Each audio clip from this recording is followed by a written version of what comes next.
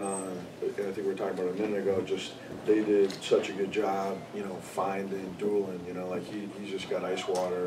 You know, his range, even with a guy flying at him, is just, his poise and range is just tremendous. And, you know, I mean, obviously, the team shoots forty percent from three, they're eighth in the country in shooting the three, and we obviously spent a lot of time talking about that, and we knew we, we're gonna have to just single cover Boken and Zide, because, you know, like, you can't let them go on a run. I mean, they average eight made threes a game, and we talked about the fact that we needed to, you know, make it an ugly defensive game because we're not, you know, that execution finesse team just knocking down plays. I mean, they're, they're a phenomenal, you know, phenomenally well coached, phenomenally unselfish group of guys. They're able to spread the floor, they want to make extra passes, and they probe your defense because if they can't get it to Boken, they'll skip, give another, and then drive it, and then find that open guy, so they keep on a string. So we, we had to really work hard to um, be in a position where we could play four light players, so we could just switch everything, which was, I think, probably the, the, the difference in the game was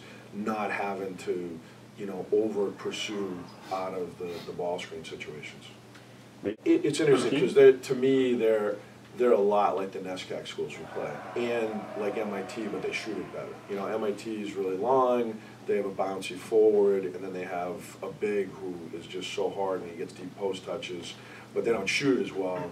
But like you, like when you play Amherst, it's gotta be single coverage in the post, and they take thirty threes a game, you know, so if they're making threes, especially transition, like you guys are not as much, Scranton's not as much of a run team as they are an execution team, whereas Amherst, they get more shots and more threes, and they're just gonna try and outscore you. So I think that, you know, our schedule is kind of set up that way where, you know, we're playing Amherst and Tufts and, you know, Bates and, you know, we, we were four and one in NESCAC this year, you know? So, uh, we got us a playoff spot. But, um, but it's one of those things where those games, I think, prepare us for league play, because our league play, we got three teams in the top ten defensively, so we know how to grind it out, because if you don't, you're gonna get ground out. Are you He is the ultimate glue guy, okay? Um, Eric doesn't get all the press that, you know, Flannery and Wickey get, and, um, I understand that because statistics sell newspapers, right? Or They used to. Um, but it's a situation where you can't put a price or value on toughness, and Eric's one of the two toughest kids I've ever coached in my twenty-five years, okay? And what his toughness comes down to is, he's willing to do the right thing almost always on defense, okay? And his ability to just lock in and guard whoever we have to play against off the bounce, because, you know, that's obviously an issue for us, you know? Um, so I, I think that, you know, we would be nowhere without his toughness, his leadership, his character, and, and what he demands of everybody else in the weight room, on the practice court, and, you know, like he, you know, these guys wanna keep going. They were here at eight AM today, you know, after a game last night. Most college kids are in the rack at eight AM. So I think that Eric's character, toughness, and leadership, you, you just can't put a price on that in the box score, but, you know, like, he just keeps coming, you know, he never gives in, and, look, I mean, guys make shots, and he still does the right thing, you know, and that's what we talk about is the DNA of a champion, is that you keep doing the right thing no matter what just happened in the last play. Well, yeah, obviously Joey and Wood get a lot of attention from defenses. Um, and, you know, for me, it's just picking my spots and taking the defense, getting, taking the opportunities that are presented to me.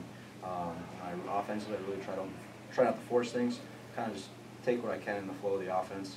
Um, you know, and us, we're still successful in transition, so and get out in transition. You know, that's why we focus so much on defense, and that's why um, defense is really my uh, my priority as far as you know locking down. I usually pride myself in guarding the opposing team's best player. Um, you know, and that's usually every night I do that. Um, For almost forty minutes. um, so you know, I, I, again, you know, just it starts with defense and getting out in transition. You know, that's why we get a lot of our opportunities. But um, yeah, like I said, I just pride myself, you know, in, in stopping the opponent's best player and offensively just kind of choosing spots and taking what the defense gives me. Down a It was bit. definitely a war, uh, a lot like last night for us too. Two different types of game flows, but uh, we've um, we've battled through different types of games all year, and uh, we've been we're a team that's been prepared with great scouting and um, tribute to our coaching staff and just uh, willingness of our players to to read the scout, to watch the game film, and just to prepare for the next opponent.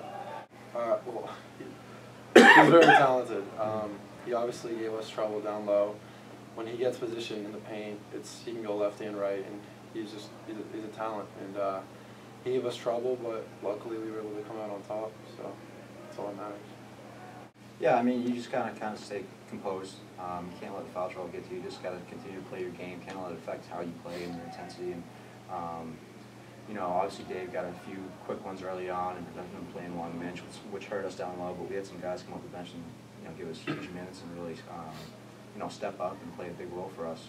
Um, but yeah, you, you just can't let it get to you. You just gotta keep playing your game. And um, you know, tonight thankfully we didn't get all five, but you know, close. We felt last year we, we left a lot on the floor uh, getting scored, and it definitely left a bad taste in our mouth, and it provided us with a lot of motivation in the spring, the summer, and in the fall to prepare for this year. And um, we have guys that all want to be in the gym, all want to be here, and put the time in, and I, it's been a tribute to that for our success this year. And we knew we had loftier goals than last year of just getting to the tournament, and luckily we've we made it done so far, and we just want to keep playing as a group. I didn't look at any Scranton or Baruch film till today.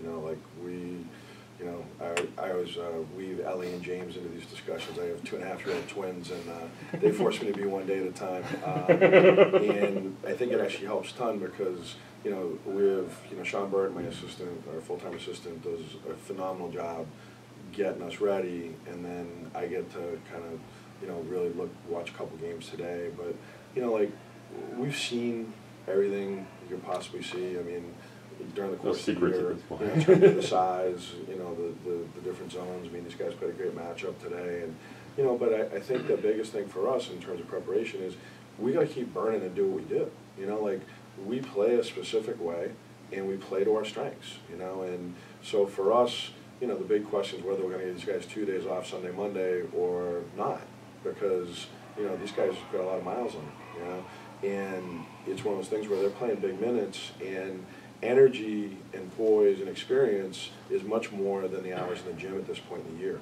And so we seen ball screen after ball screen after ball screen. and something that's all we worked on at the beginning of the year because every run it, you know. So I, I just feel like in terms of preparation, you know, we'll spend Monday and Tuesday just getting back into the gym, feeling good, trying to forget this all occurred, you know, because like, you know, it's, it's another tournament next weekend. You know, you gotta try and win two games next weekend and, you know, I think we've now had four dress rehearsals for next Sure. week, you know.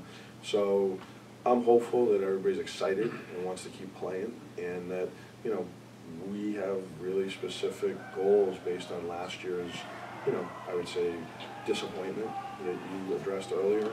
And we have a really good leadership group that we talked about it last spring and, and these guys really did a great action plan. And they've continued to do so and, you know, that's the big thing right now is energy, rest, and focus, you know. And if you can do those things, great things can happen because these guys are all willing to put it on the table for each other. Well, I mean, our student section's been absolutely phenomenal the last two days. Um, you know, I, we personally as a team, we can't thank them enough for all they did for us. Um, you know, they really rallied us back from the ten-point deficit in the second half yesterday. Um, but hopefully these stains come out. They, they were, it was, it was It's not a good, it's a. So, um, but no, it was, it was a phenomenal feeling and, you know, certainly this is our, our last time playing at home. There's no better way to go out than an atmosphere like that, so.